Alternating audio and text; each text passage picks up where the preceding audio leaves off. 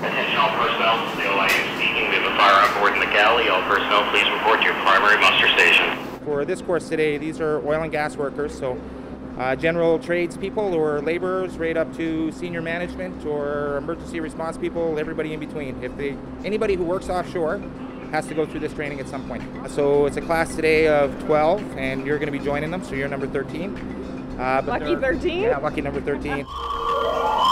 Doing this training in a benign pool environment has its benefits, but if you really want to make the training meaningful and beneficial, then the best thing to do is try and recreate weather like we would experience in the North Atlantic. Uh, this pool, like some of the things that we can do in here is we can generate a wind up to about 60 or 70 knots, uh, waves about a meter, meter and a half in wave height. These are full range of sound effects, uh, rain, or thunder, lightning,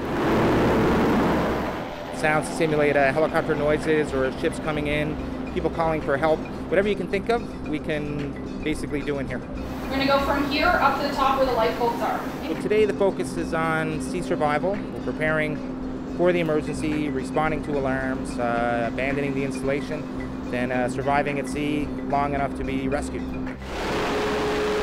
We've created a number of scenario-based exercises, and they'll move to and board a lifeboat, um, a totally enclosed lifeboat. Uh, the lifeboat will lower to the water. We're going to tell them there's people in the water close to their location rescue a conscious and unconscious casualty from the water and bring them into the lifeboat. That'll be the end of scenario one. After that, what we'll do is we'll move them back over to the side of the pool deck and we'll put them in the water and we'll just refresh some of the base skills that they already know. I will take them through some survival formations, so how to get together as a group and move away from danger, and then how to stop and stay together and rest to wait for rescue. After that, we'll move to the next scenario based exercise, which is a, a skyscape or an escape chute exercise. So, same thing, we'll, we'll feed some kind of problem to the group fire offshore, something to that effect. So they'll move to the escape chute, they'll come down through the chute, and now that their skills are building through the morning, we'll introduce more weather effects, more conditions to them. Um, what will happen then is when they get to the bottom of the escape chute, they'll get themselves organized, enter the water, swim a short distance to another life raft. They'll hear a helicopter. Once they hear a helicopter, that'll be their cue to pinpoint their location using some kind of simulated flare. And uh, then we'll put a spotlight on them, which will indicate they've been found. And that'll be the end of that scenario.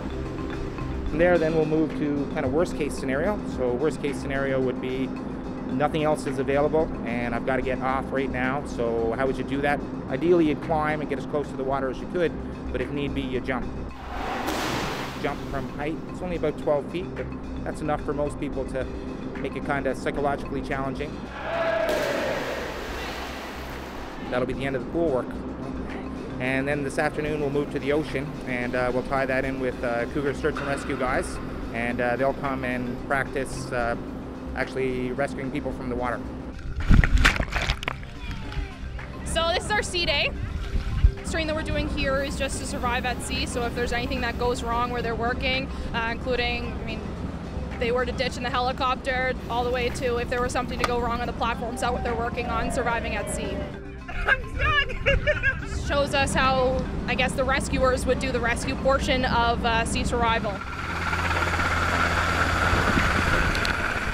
It's pretty cool to see that when they come down to the raft. It's pretty cool to have the helicopter over top of it. It's one thing for us to say it in the classroom of how it's going to happen, and another thing for them to see it on their sea day. You're training for something that you hope you never have to encounter, but you're prepared for it if you do It's as close as most people want to get. uh, days like today are important because you get to see other resources that you don't get to normally see. This aircraft here is uh, not readily available to everybody to see because it's always on 24-7, 365 standby.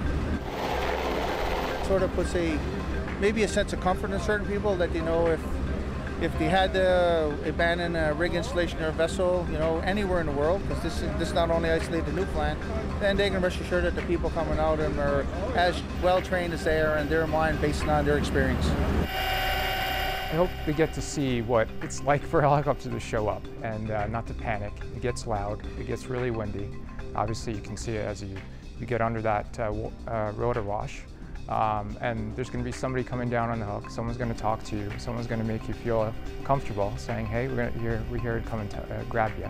So we do this on a weekly basis with uh, Falck. We have a great team over there that helps us out, and we help each other out in that sense. Uh, so we get a lot out of it because our crew in the back and in the front, we get training done. We can keep our efficiency and our skills up. It could be nerve-wracking for some people. You're, you know, dangling from a, a cable, but it's pretty strong cable, you know. So, and then to see that uh, there's nothing to be afraid of, and for them to have a warm feeling that if something happens, we'll be there to uh, recover them.